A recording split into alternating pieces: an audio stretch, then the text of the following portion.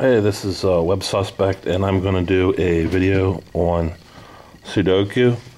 Um, about a year ago, I ran into Steve Woz, and he was working on a logistics project, and I asked him what he was playing on his cell phone, had some kind of app or something running, and he said it was Sudoku.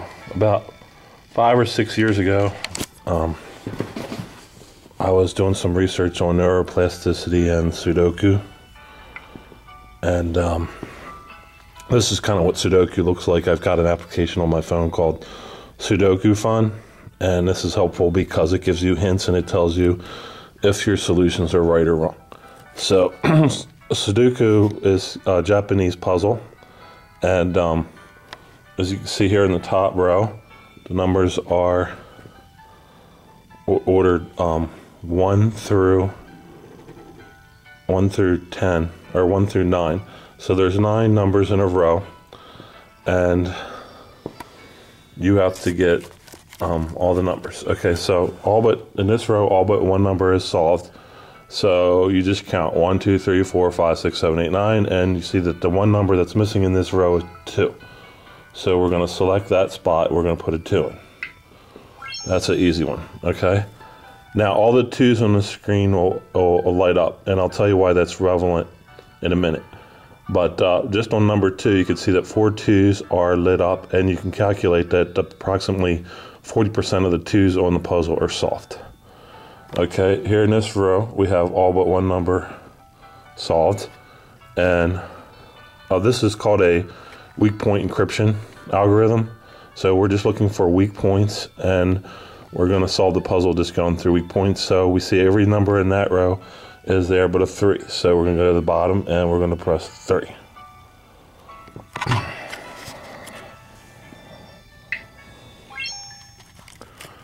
And all the 3s light up. And the same thing, approximately 40% of all the 3s are solved.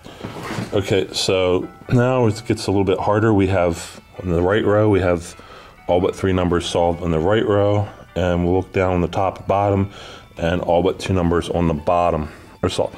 So just out of curiosity, we're going to look at the bottom row and we'll see that um, all but two numbers are solved and we'll count them off. One, two, three, four, five, six, seven, eight, nine. We have everything but a three and a seven. And sometimes I'm looking at not paying attention and I'll get one wrong. So we need to find a three and a seven. We'll go up in the vertical columns and we'll look for a three and a seven. Right here we see a seven. So you can check your answers by looking for weak points in encryption in another row. And right here we have to put a 3 because we can't put a 7 because we'd have two sevens. And here we're going to put a 7 because we already used the 3. Now at this point all the 6s on the screen, you can see the 6s removed and all the 6s are solved. So if we click on 6, all the 6s will light up and we'll see that there are 9 6s on the screen. Uh, an application really helps me to, to kind of check and make sure that my logic's working correctly. So I like an application, and uh, Steve Woz has talked about how applications um, can kind of be like a teacher or a helper. And this is an early view of, of that. Now, computers at this point, they don't have to talk to us to teach us anything and learn from us and learn our weak points. We can just kind of use them as tools. And that's what a computer is anyway. A computer is a tool. All right, so we're going to look again vertical, horizontal. Usually I'll wind up leaning on one more direction than the other, and I have two rows solved horizontally, and sometimes you can t- toggle. It'll be easier. And then this row here, we have all but two solved in this row, so we'll count off again. And we have one, two, three, four. We don't have any threes. Four, five, six, seven, and a nine. So we're looking for. Nope, there's our nine. We're looking for a three and an eight. So we got every number in this row except the three and an eight. So first thing we're going to do is look, check the other rows. Then we're going to look for everything but a 3 and an 8. And we don't have any. So we're going to go do another row.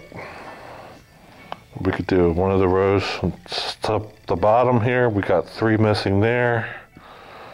and three missing here. I, I think uh, Steve Jobs talked a lot about intuition, so we're going to use our intuition. I think this row here will be easier to solve.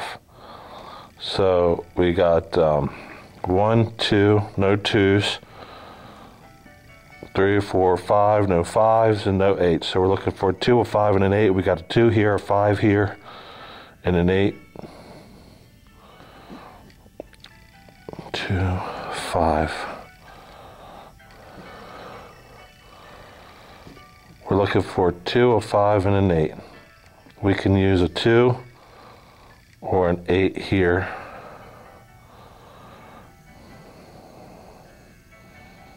I'm not getting a strong indicator. I think I want to put an eight here. Let's try an eight.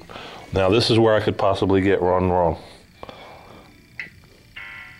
Okay, so it's either got to be, it's got to be a five. Okay, so now we got two and a five and an eight. Uh, two and a five and an eight. I'm to try the eight here. Could be wrong again. Nope, it's a two.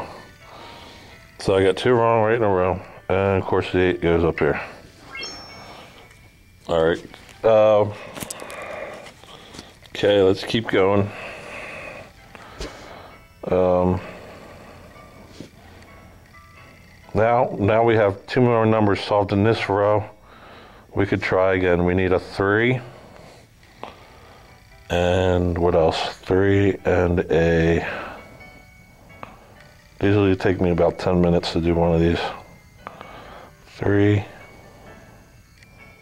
and eight. Oh, there's a three down there, so we're going to put an eight. And then up here a three. All right, now we got the furthermost row here. We got one, two, three.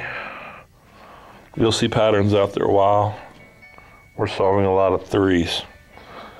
One, two, three, four, five, six. We need a five, a six, seven, a three, a one.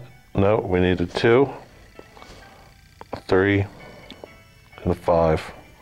So we got a two here, a five here. Now I'm starting to see here, maybe we should put the five right here. nope. All right, um, the five's got to go somewhere. It can't go here. Let's put the five here. And let's see, two, five, and an eight. We'll put the two here. Crap. All right. The three. And the two goes here. Now, just out of curiosity, we got number we can solve there. Fill that block. But that doesn't look real promising. Um, we need two numbers on this bottom row to finish out. One, two, three, four, five. We need two and a five. I want to put the two here. Probably get it wrong. Getting a lot wrong today. And two goes there. All right, here we go. Um, let's do the top row. We do the top row where this row needs force, or we could do this horizontal row here. We need a one, a four, and an eight. We have a one here, an eight here.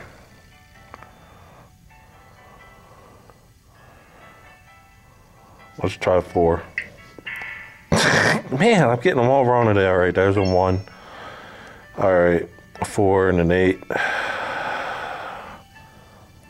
Man, That's just my intuition's way off today. Try a four here. All right, that's gonna be eight. This one's gonna be a four. Uh, let's try the top row. We need a one, a two, and a three. A one and a two. A one and a two and a five. We got a five here, one there, One, two, five, eight. We need a five and an eight. Let's put an eight here. Well, intuition's one, two, two, and the eight goes here. What the heck? One, two, five, three.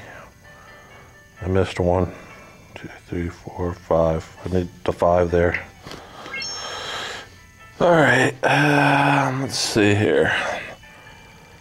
Now we got this row here with three numbers to solve. We need a one, two, three. Okay, we need a three, a seven, and an eight. We got an eight here and a three here. Let's just try to reverse them. Probably not to work. Let's try to put the three there and the eight here. One, three, five. One, two, three, four, five, eight. It's going to be a seven. And we'll put an eight here.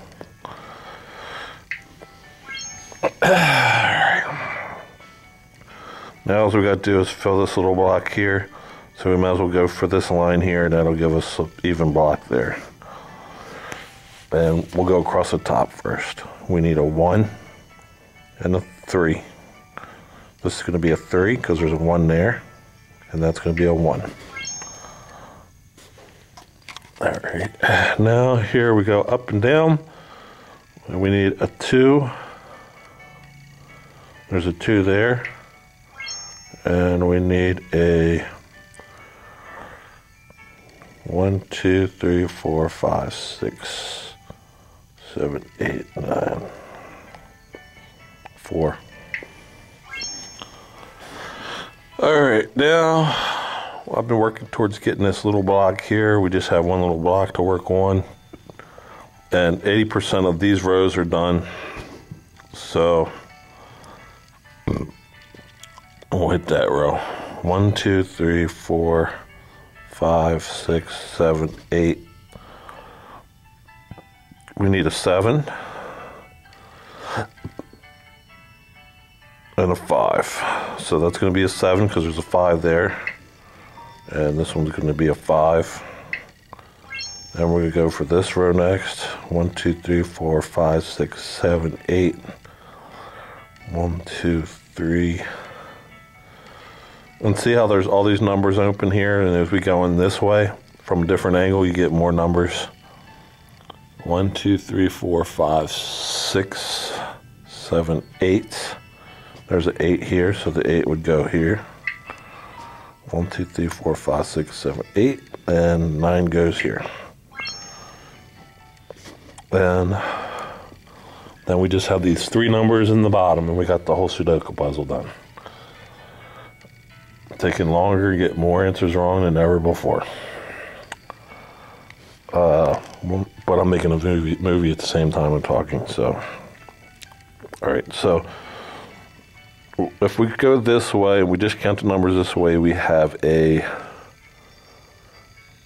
70% chance of solving the puzzle, but if we go up and down, we get 100%. So we'll just go up and down. One, two, three, four, five, six, seven, eight. Right there, we need a seven. And one, two, three, four, five, six, seven, eight. Here we need a four. And the only tile left on the puzzle is an eight. So we'll just put eight there. It's the only number it can be. And that's it. That's how you do the Sudoku. Leave your comments below. Yeah, I'm going to get no stars from this.